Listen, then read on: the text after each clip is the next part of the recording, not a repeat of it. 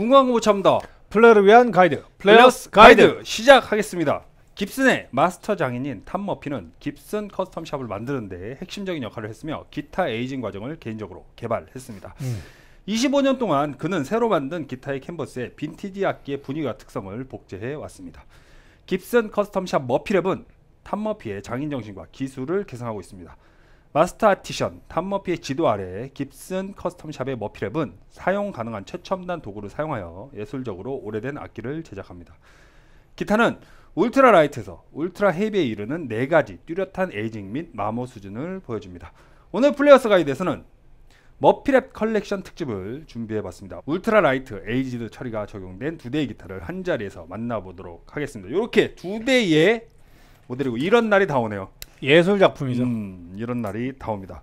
은총 씨가 들고 계신 모델이 Gibson Custom Shop 197 Les Paul Custom. 네. ultra light aged 어, 모델입니다. 이 친구가 어, Gibson Custom Shop 1964 ES335 ultra light aged 네, 모델입니다. 지금 실제로 화면상에는 잘 안 잡히겠지만 아. weather check가 음, 그- 예술로 제가 사실은 이제 Murphy에서 네. 뭐 heavy도 있지만 저는 개인적으로 음. 이 요걸 음, 좋아하거든요. 음. 이 weather check가 들어가면서 이 기타가 어느 정도의 세월을 맞은 듯한 네네 요 느낌을 되게 좋아하는데 딱입니다. 이 음. 지금 뭐 얘도 마찬가지고 이제 와 뭐 끝내줍니다. 이게 음. 실물 보시고 그리고 넥을 잡아 보시면은 이 얼마나 신경 써서 만들었는지가 이넥 안에서가 느껴지거든요. 그렇습니다. 제가 이 장가를 가고 난 이후에 이 기타 욕심이 싹 사라졌거든요. 사고 음. 싶다.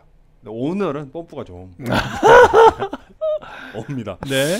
이 두 대의 멋진 기타를 은총 씨 연주를 통해서 사운드를 들어보도록 하겠습니다. 네, 한번 이거.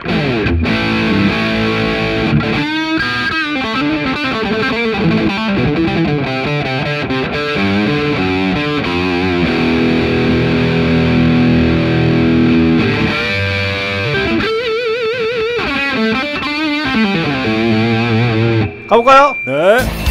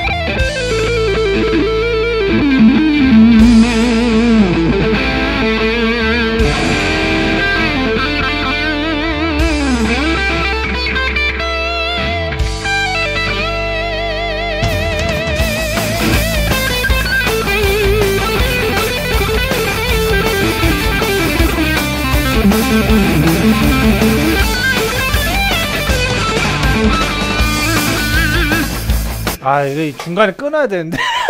이 우리가 네. 이 Gibson에 바라는 사운드 그리고 Les Paul 모델에 바라는 사운드가 정수가 진짜 담겨 있다 라고 표현을 할 수가 네, 있겠습니다. 막 땀이 나네요. 아, 1964 ES335.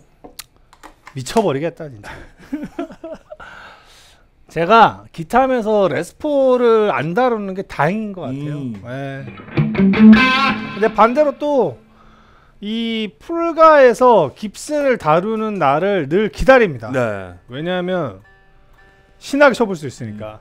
그리고 기타면서 하는 그런 뭐라 해야 될까요? 뭐 픽업별 뭐 사운드 이런 거 안 들려주고 그냥 내 치고 싶은 대로 음. 치면 되니까. 이게 플가가 이렇게 주는 매력이 있습니다.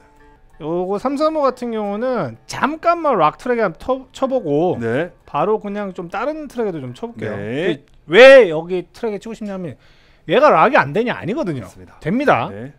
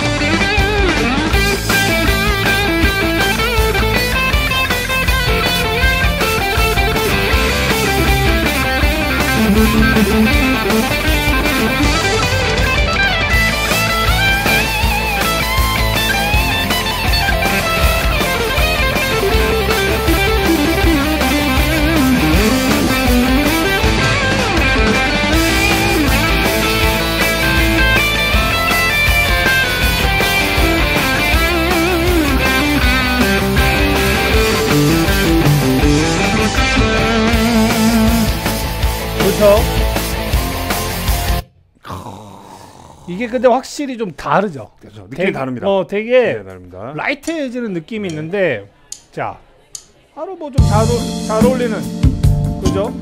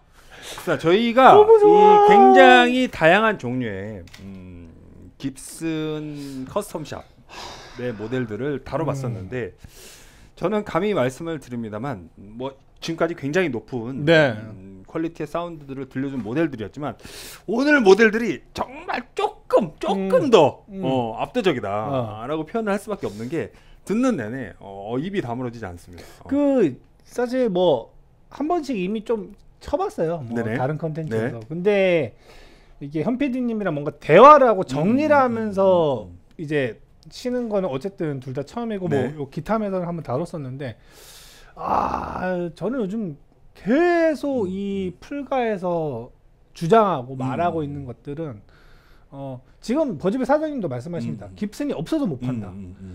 이 천만 원짜리 기타를 누군가 계속 사가고 네네네, 계신다는 네. 거죠. 근데 이제 제가 봤을 때는 그 돈을 지불하고도 모든 게 어 이 형용이 되는 음. 이 기타가 지금 만들어져 있는 게 사실 요즘 깁슨 진짜 잘 만들고 있다고 음. 제가 누누이 말씀드리잖아요. 실제로 지금 깁슨에서 메인 나무로 하고 있는 이 마호가니 이 나무 자체가 지금 계속 귀해지고 그쵸. 있기 때문에 깁슨은 아마 제 생각에는 어, 여러분들이 생각하는 것보다 훨씬 더 이상으로 계속 좀 급격하게 오를 것 같아요. PRS도 마찬가지일 것 같고요. 이제 아무래도 이제 마호가니를 쓰는 메인 음향목으로 쓰는 이 브랜드들 자체가 기타 가격은 계속 오를 거다. 근데 그러면은 이제 그걸 떠나서 그럼 기타의 그 뭐 만듦새라든가 모든 이 퀄리티가 그 정도가 나와야지 이제 우리가 그렇죠. 납득을 가- 하잖아요. 예, 감정적인 납득이 되는데 요즘 깁스는 음.